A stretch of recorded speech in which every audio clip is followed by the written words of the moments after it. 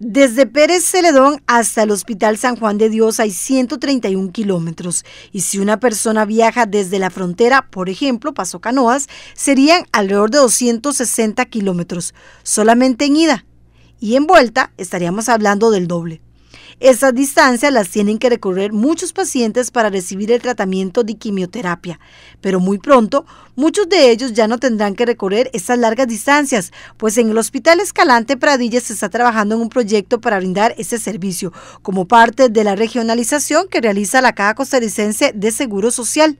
Así lo detalló el administrador de este centro médico, Luis Alberto Herrera, quien precisó que ya se está trabajando en los diseños y se espera poner a disposición de la población a partir del segundo semestre de este 2022. Como parte del proyecto se espera la contratación de una oncóloga médica. Es una iniciativa de la institución de desconcentrar los servicios de quimioterapia y oncología.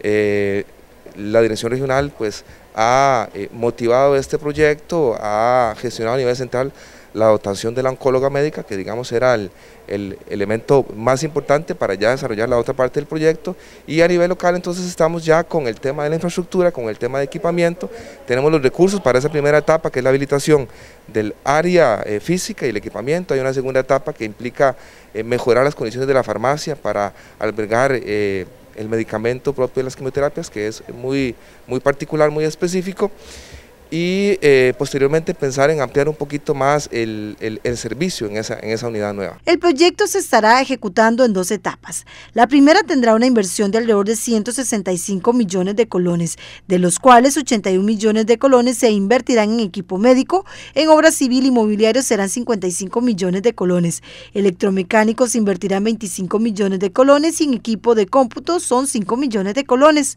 Y en una segunda etapa serían unos 400 millones de colones que incluye el equipamiento y adaptación de la farmacia.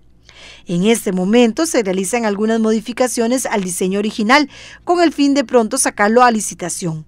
Ese servicio se estaría brindando en el segundo piso. Eso estaría en el eh, segundo piso del hospital, en lo que en el proyecto de urgencias era el servicio o el área de admisión arriba. Eh, encontramos este espacio que por la logística a la hora de habilitar emergencias y demás eh, no se estaba utilizando como se pensó en su momento y entonces pues fue una, una dicha enorme contar con ese espacio para habilitarlo, modificarlo a lo que será la unidad de quimioterapia. Cuando se inicie se va a atender un grupo de pacientes, no la totalidad de la zona sur. La oncóloga sería la que defina qué tipos de cáncer se van a estar tratando en primer lugar.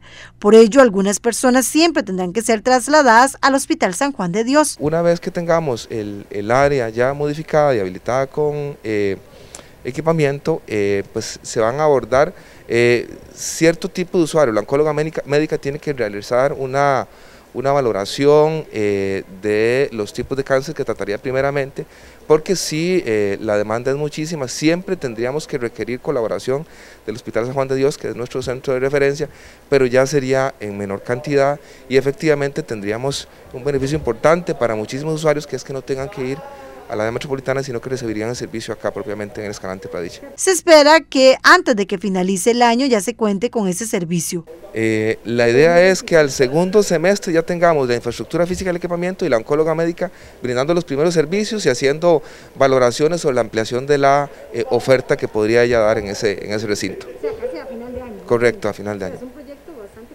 Sí, correcto, sí, hay una, hay una eh, etapa de planeamiento importante para definir el tamaño de la oferta, la demanda que podría ser acaparada y la que no, pues tendría que, de igual manera, pues, eh, funcionando bajo el tema de red en el Hospital San Juan de Dios.